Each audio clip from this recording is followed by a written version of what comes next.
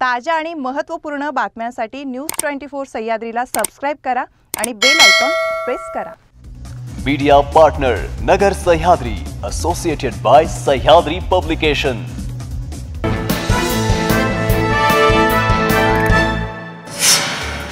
शिवप्रेमींसाठी आनंदाची बातमी छत्रपती शिवाजी महाराजांचा पुतळा रविवारी औरंगाबादमध्ये येणार. प्रचार रॅली सार्वजनिक सभांचं काय? निवडणूक आयोगाकडून आज आदेश जारी होण्याची शक्यता. मुंबई पोलीस दलातील सहाय्यक पोलीस उपनिरीक्षक सुनील टोके निलंबित. खळबळजनक घटना पोटच्या तीन लेकरांची विक्री आईला अटक बाप फरार नवी मुंबईमधील घटना. पाच वर्षाखालील मुलांना मास्कची सक्ती नाही. पंतप्रधान मोदींचा आज देशभरातील जिल्हाधिकाऱ्यांसोबत संवाद महाराष्ट्रातून नंदुरबारच्या जिल्हाधिकाऱ्यांचा सहभाग. आरोग्यासाठी फायदेशीर आयुर्वेदिक सिगारेटला मिळालं पेटंट पुण्यातील संशोधनाला यश.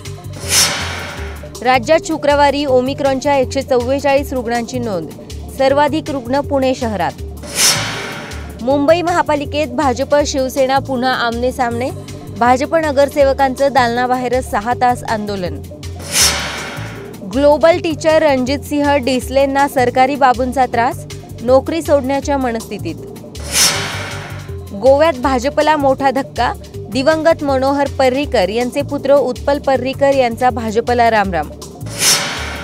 सांगलीत तरुणाच्या खिशात वन प्लस मोबाईलचा स्फोट तरुणाच्या मांडीला दुखापत.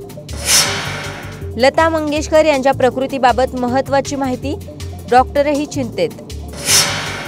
आम्ही सामान्य चेहरे उमेदवार देणार खासदार संजय राऊत. ठिबक सिंचनातून बहरणार उन्हाळी कांदा. वसईत कौटुंबिक वादातून उच्चभ्रू कुटुंबात तुंबळ हाणामारी. डॉक्टर अमोल कोल्हेंच्या चित्रपटाला काँग्रेस विरोध करणार नाना पटोले यांचं वक्तव्य. नागपूर विद्यापीठाच्या धावपटूंसाठी खुशखबर आंतरराष्ट्रीय दर्जाच्या ट्रॅकची सुविधा लवकरच. स्पुटनिक वी लस ओमिक्रॉनच्या व्हेरियंट विरुद्ध अधिक प्रभावी. बिल गेट्स यांनी केलं पाकिस्तानचं कौतुक. गेल्या चोवीस तासात मुंबईतील अठरा पोलीस कर्मचाऱ्यांना कोरोनाची लागण. सलमानने फार्म हाऊसमध्ये कलाकारांचे मृतदेह पुरल्याचा शेजाराचा आरोप. शाळांपाठोपाठ आता राज्यातली महाविद्यालयेही सुरू होण्याची शक्यता उच्च व तंत्र शिक्षण विभागाचा मुख्यमंत्र्यांना प्रस्ताव.